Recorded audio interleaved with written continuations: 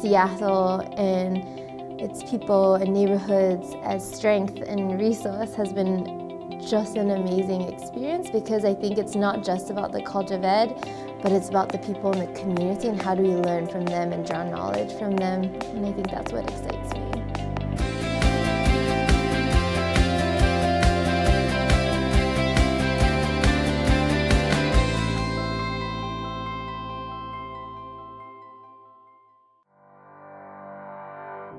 I was a teacher back home in Singapore, um, and I was teaching at a school primarily for students that um, were rejected by the Singapore education system. Um, so I always felt like that was where I grew and loved being. Um,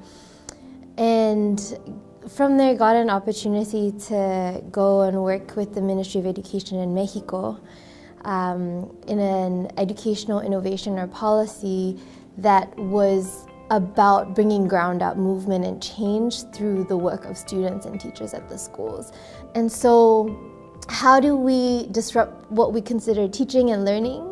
Um, to see them as dual processes, and it's not just about modeling great teaching, but it's teachers also modeling great learning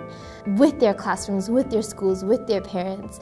uh, and how are teachers learners um, constantly in this space because we are, and also through that refine our practices and the ways and our frames by which we understand what teaching and learning is from Western knowledge systems or indigenous knowledge systems, or you know, how do we um, kind of disrupt what we understand today as what teaching and what learning is. And so when I returned to Singapore, I was a math teacher. I also worked in Thailand um,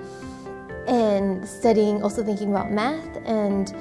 um, really wanted to study what we were doing and was looking for an amazing uh, program with the learning sciences to come to, and UW was the place. I think we just have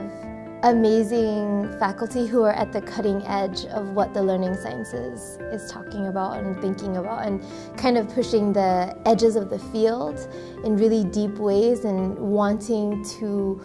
work with Indigenous ways of knowing and being and feeling and dreaming